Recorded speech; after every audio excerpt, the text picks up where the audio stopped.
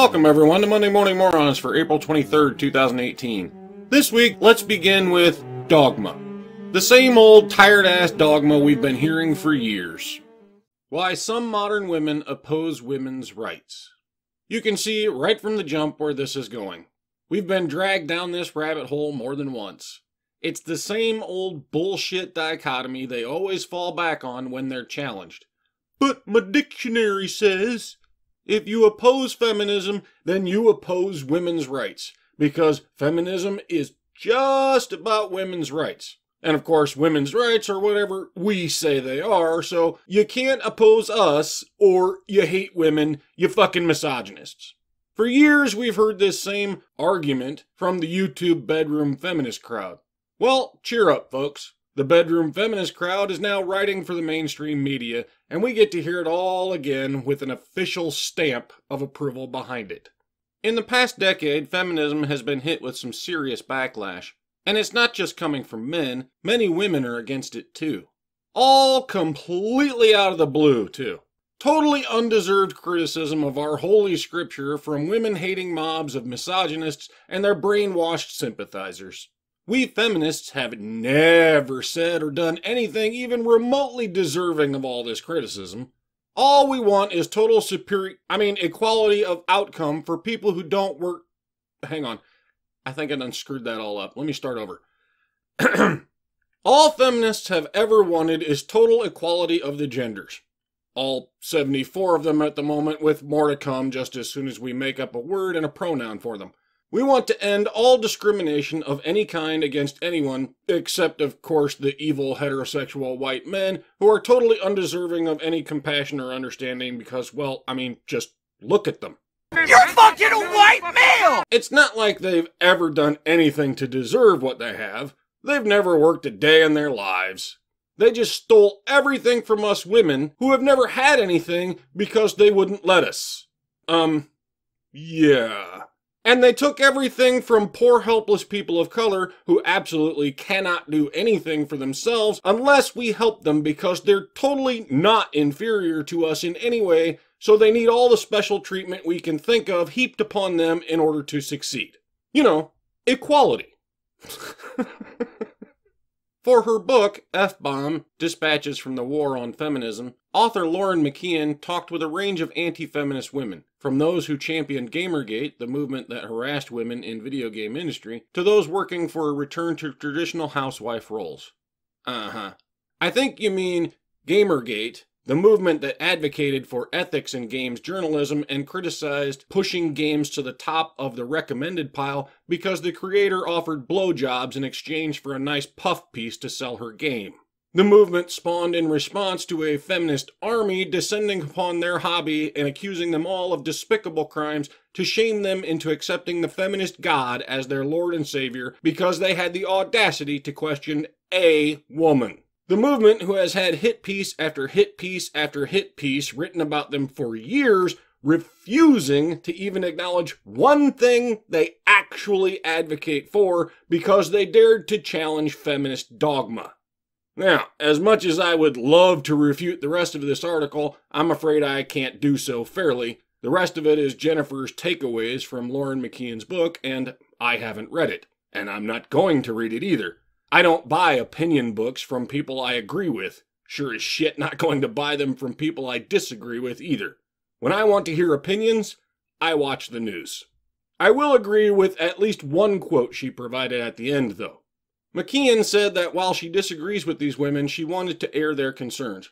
I do think it's important to not let such views metastasize unopposed, she said. Exactly. Bad ideas don't go away when you ignore them. They spread unseen, and the next time you look, it's fucking mainstream bullshit, also known as feminism. What's next, Bob? Student op ed calls black conservative example of tokenism. And Uncle Tom again? Didn't we cover this shit last week? hmm. Bob says this one's different. Somehow I doubt it, but let's have a look. The Texas State University student newspaper published yet another racially provocative piece Tuesday accusing a prominent black conservative of being a token black woman for conservative students. because her opinions just couldn't possibly be her own or anything. It's just inconceivable that a black woman might have conservative views unless she's got some internalized racism or some shit, right? She has diverged from the hive mind. Quick, call her names, brand her a heretic.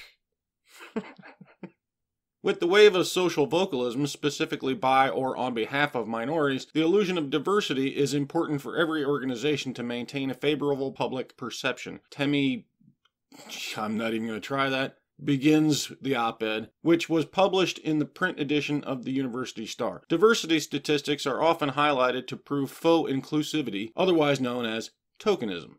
Diversity statistics prove faux inclusivity. So if my group excludes minorities, it's a racist group. But if it includes minorities, they're just tokens so we can pretend we're inclusive. Huh. So include or don't doesn't matter. Everything is still racist until we agree with you. Is that what you're saying? Giving the example of a white person deflecting charges of racism by claiming that my best friend is black, Temi claims that the school's Turning Point USA chapter similarly tokenized Second Amendment advocate Antonia Okafor by inviting her to speak about gun rights after a student government representative accused the group of perpetuating this false sense of inclusivity to make itself appear up on their diversity quota while not addressing issues affecting minorities. I guess that is what you're saying. These horrible racists invited a black woman to speak just to prove they aren't racists. But because she didn't speak about the things you wanted her to say, she's just a token. Rather curious that when a black person happens to agree with conservatives, they're an Uncle Tom or a house nigger or a token or whatever other disparaging name you can think of to call them. But when they agree with you, they're totally just individuals seeking empowerment. It's almost like you're saying political motivation is the important thing here, not skin color. Okafor told Campus Reform that while Temi gives a great definition of tokenism, this is the very reason I left the Democratic Party, asserting that legal gun ownership is empowering regardless of race or ethnicity. By Temi saying comments like this, it's hurting the African American community, Okafor said. White people shouldn't be the only people allowed to defend themselves with a firearm, and it's racist to say so. Don't sweat it, Antonia. She's made it quite clear it isn't about race at all. It's about ideology. You don't share hers, so she's trying to shame you back into line by calling you names. She's trying to take away your agency and discount your individual perspective because she has defined you by your skin color. We know who the real racist is in this story, and it's not Antonia Okafor. What's next? Professor called racist for trying not to be racist. this should be good. In an incident of public shaming, an anonymous student working on the theater project for Pomona College's theater and dance department posted several posters on buildings throughout the campus accusing a faculty member, Pomona College theater lecturer Rose Portillo, of being racist for asking the student to not include songs with the word nigga in them for an upcoming production. On Tuesday, April 17th, I was organizing song cues for one of Pomona College's theater department's upcoming productions. My professor, Rose Portillo, walked up to me in class and said, Nothing with nigga in it. I said, Don't say that. She said, I'm saying it. The student concludes the poster by stating, That's racist! you know, for people so inexplicably obsessed with racism, you'd think they'd at least know what racism is. Evidently not, but let's look at it from the teacher's perspective. If she allows lyrics that have the word in it,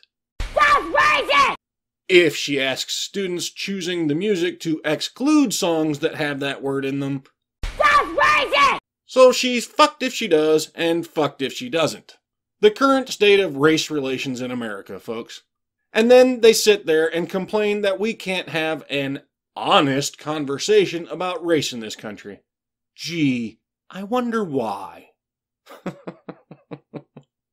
All right, Bob. Toxic masculinity time. 911 operator who hung up on emergency calls is sentenced to jail.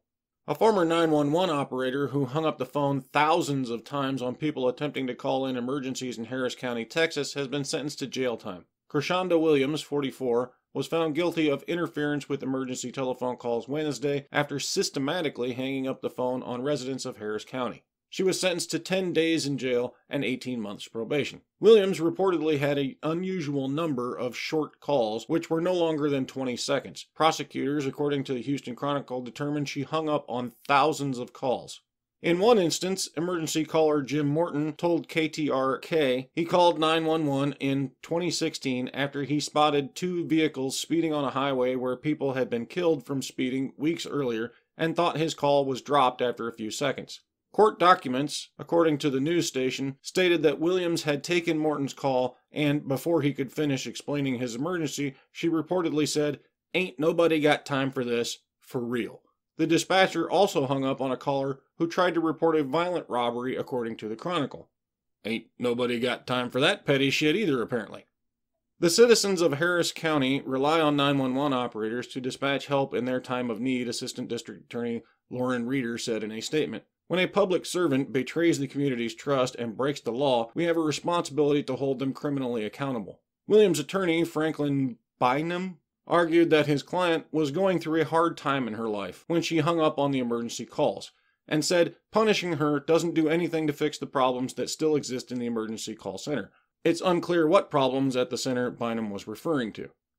Yeah, she was having a bad day, man. Apparently, hundreds of bad days. Cut her some slack, yo. She spends all day, every day, under the harmful gaze of the omnipresent white supremacist patriarchy. That's hard, you know. Ain't nobody got time to worry about no damn robbery and reckless driving and shit. She's got real problems, you shitlords. Just another example of the school to prison pipeline holding down another strong, independent black woman who didn't do nothing. Literally, she didn't do anything, not even her job. okay, let's wrap it up with a laugh. DC council member apologizes for blaming snowfall on Jewish bankers controlling climate.